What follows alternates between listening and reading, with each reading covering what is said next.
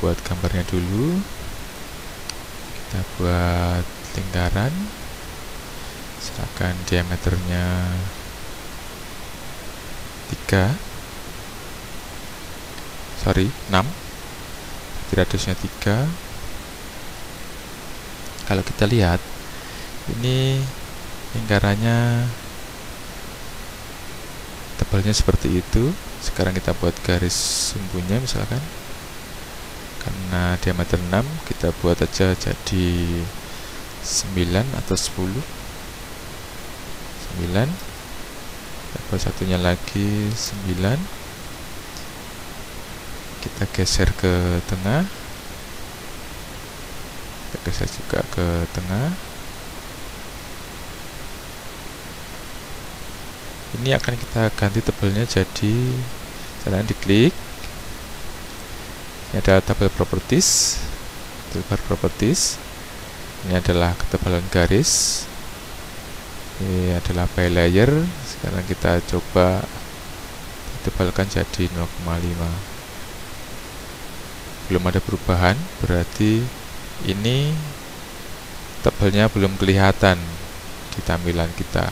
Maka kita bisa show height length width di on kan maka akan tebalnya berbeda. Kalau tidak ada bisa cari di sini customize diklik aja line width. Oke seperti itu. Ini ada tiga jenis properties. Yang pertama adalah color.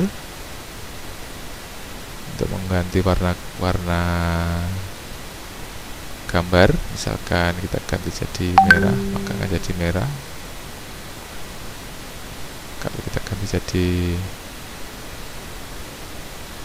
layer akan seperti ke settingan layernya. Oke sekarang kita akan mengganti garis ini menjadi garis sumbu di sini ada ini adalah tipe garis untuk yang properti yang ketiga. Tipe garis ada tiga maka kita pilih other untuk menambahkan garisnya. Di load sini ada banyak sekali. Kita tampilkan yang kita perlukan saja. Biasanya untuk garis sumbu kita pakai center dan garis yang tidak kelihatan pakai dash tekan kontrol oke okay. akan muncul tambahan garis center continuous dan dash oke okay. untuk mengganti tipe garisnya maka kita perlu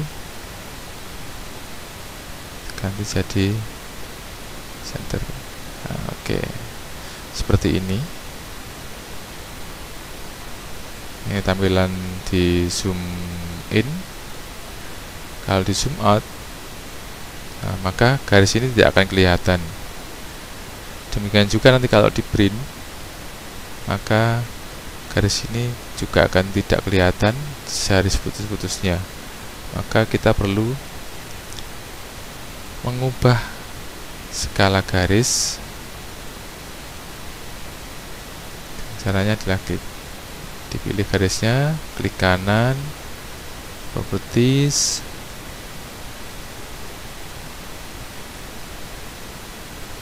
Ini ada line type scale nah ini kita, kita ganti.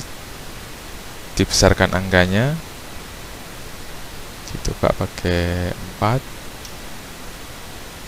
oke berubah. Perhatikan ini berubah. Nah kalau di segini masih kelihatan maka nantinya di print akan kelihatan. Seperti itu cara menggunakan properties di AutoCAD. Hati-hati juga karena ini sudah bentuknya properties. Kalau pengen mengcopy maka pastikan propertiesnya sudah betul. Misalkan kita copy ya select object ter sini. Kita copy misalkan jadi lurus. Ada tiga buah. Nah maka hasil kopiannya kita sudah mendapatkan gambar yang sama persis dengan properties yang ketebalan garis, tipe garis yang sudah diganti. Itu cara penggunaan properties di AutoCAD. Selamat mencoba.